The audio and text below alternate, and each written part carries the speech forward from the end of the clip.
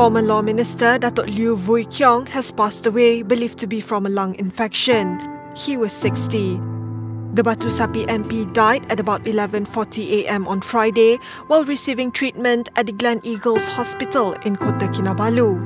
Liew had initially sought treatment for a slipped disc before the September 12 state election nominations. According to reports, the Parti Warisan Sabah leader later contracted pneumonia and fell into a coma. The information was confirmed by his aide who said Liew had fallen ill around the tail end of the campaign period of the Sabah election. Liew was a former Liberal Democratic Party president who joined Parti Warisan Sabah in 2018.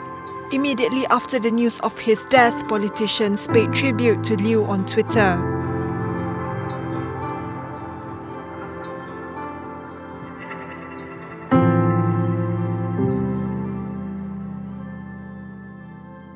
Liew leaves a wife, Datin Dr. Lindai Lee, and four children.